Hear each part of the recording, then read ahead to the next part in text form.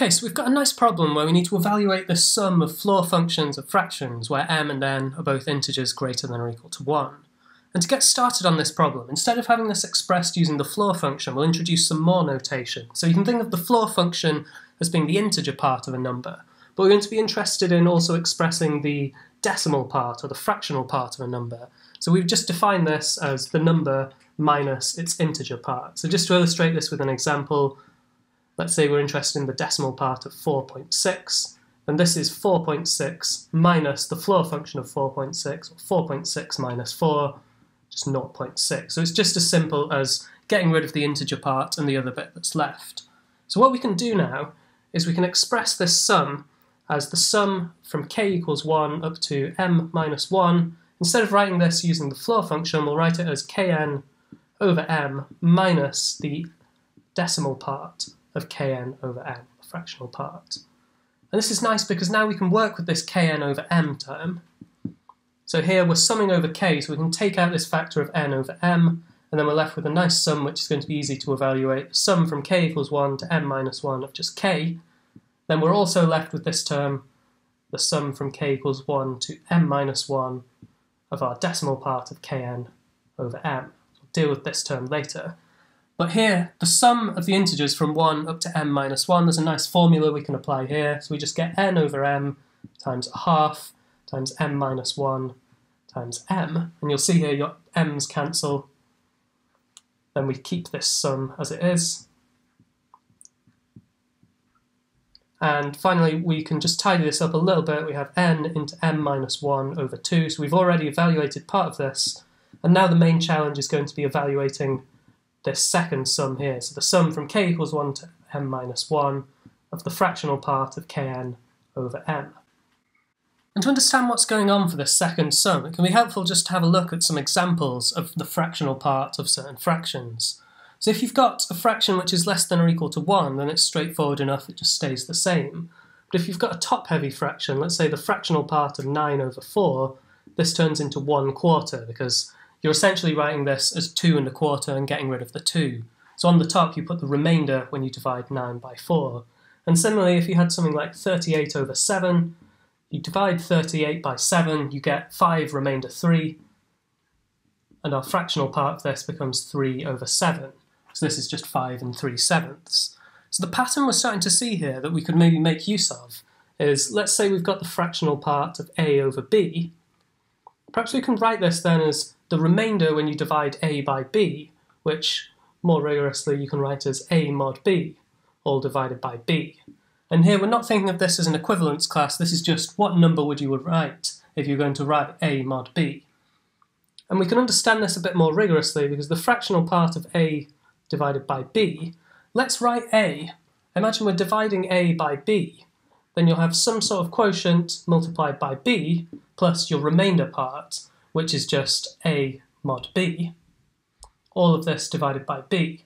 And we're looking for the fractional part of all of this. So q times b divided by b gives us an integer, then a mod b divided by b, this is going to give us a fraction which is less than 1, because a mod b is always going to be less than b. So this tells us why we can now write this as a mod b all divided by b. And the upshot of this for our formula now is we can write the fractional part kn over m as kn mod m all divided by m. So what we can do now is replace this in our formula, but then there is still some more work to do to actually evaluate the sum.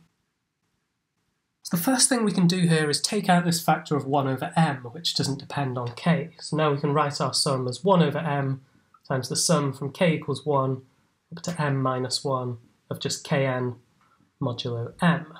And something else we'll do, which will make sense in a sec when we start to look at the patterns involved here, is instead of summing from 1 up to m minus 1, let's imagine we add in the k equals m term as well. So you would have m times n modulo m, which would just be 0. So this doesn't actually affect the value of our sum, so we'll add in this extra term just so that our patterns are a bit nicer when we look at some examples. So we start off, we'll just look at an example, let's say n equals 2 and m equals 5. Just try and understand what's going on with this sum here. So the sum from k equals 1 to m of kn modulo m, we're now looking at the sum of basically our 2 times table modulo 5. So you start off with 2 mod 5 is 2, 4 mod 5 is 4, 6 mod 5 is 1, 8 mod 5 is 3, and finally 10 mod 5, our 0 term that we added in, is just going to give us 0. Let's have a look at another example. So we get some really nice behaviour when m and n don't have any common factors when they're co-primes. Let's say n is 7, m is 4. So here we're going up in our 7 times tables modulo 4 essentially. So 7 mod 4 gives us 3, 14 mod 4 gives us 2, 21 mod 4 gives us 1, and finally 28 mod 4 gives us 0. So we seem to get some nice behaviour here. We're just cycling through all of the numbers from 0 up to 4 here, or going from 0 up to 3 here. We get slightly different behaviour if m and n have common factors. So let's say we've got n is 4 and m is 10 now. So we're going up in our 4 times tables modulo 10. So we have 4 plus 8 plus 12 mod 10 is 2, 16 mod 10 is 6, and 20 mod 10 gives us 0. Then 24 mod 10 takes us back to 4, 28 mod 10 is 8, 32 gives us 2, 36 gives us 6, and finally 40 gives us a 0. So there's some cycling through here, not of our just going up from 0 in 1s, but we're going up in 2s here. We'll have a look at one more example before we start to generalise this pattern. So when n is 3 and m is 9, we're going up in the 3 times tables modulo 9, so we have 3 mod 9 is 3, 6 mod 9 is 6, 9 mod 9 is 0, 12 mod 9 is 3, 15 mod 9 gives us 6, 18 mod 9 gives us 0, then we're up to 21 mod 9 takes us back to 3, 24 mod 9 gives us 6, and 27 mod 9 gives us another 0. So there seems to be some really interesting structure here that we're repeating. We seem to be going up in actually steps of the highest common factor, the greatest common divisor of m and n. So I'll just introduce a little bit more notation. We'll define d to be the greatest common divisor, the highest common factor of m and n, so just the biggest number which goes into both m and n. Then what we're saying then is that this sum, going from k equals 1 up to m, of kn modulo m, this seems to give us, we're actually getting d copies of a sum which starts at 0, then we're going up in d, so d plus 2d, and so on. So how many of these do we get? In the end, we're going all the way up to m over d, but because we've included 0, we take away 1, so we actually have m over d minus 1 times d as our final term there. So this is an arithmetic progression, so we'll be able to sum this nice and easily. So what we've done here is we've written the sum as equal to d copies of a nice arithmetic progression.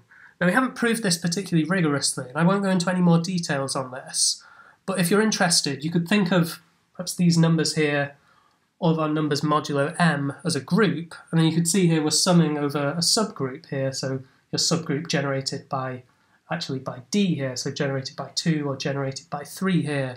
So if you want to try and turn this into a more rigorous proof if you're interested, you could have a go using Lagrange's theorem, for example, to show that we do indeed get d copies of a sum which starts at 0 and goes almost all the way up to m. We won't go into this in any more detail now. Now we're ready to tidy up all of this and actually evaluate the sum. So we've got n into m minus 1 over 2 from earlier, then we're taking away 1 over m multiplied by d, then we've got this arithmetic progression here going up to m over d minus 1 times d. So the first thing we'll do is we'll take out a factor of d here, which gives us n, n minus 1 over 2, then minus d squared over m. Then all we're summing here is just 1 plus 2 plus 3 and so on, up to m over d minus 1. So we can evaluate this really easily, just like before. So we get n, m minus 1 over 2, then using our sum of integers up to m over d minus 1, we get a half times m over d minus 1 times m over d. You can see here we're going to get quite a bit of cancellation. This m cancels with this m, our d cancels with one of the d's here. Then we can tidy this up a little bit further we should get a nice expression in the end. So n into m minus 1 over 2, then it's minus d over 2. And if we write m over d minus 1 as m minus d over d, you can see these two d's cancel as well, giving us a nice expression where everything can be put over the same denominator of 2 now. So we get n into m minus 1 minus m plus d, all of this over 2. So we get a really nice tidy expression for our sum in the end.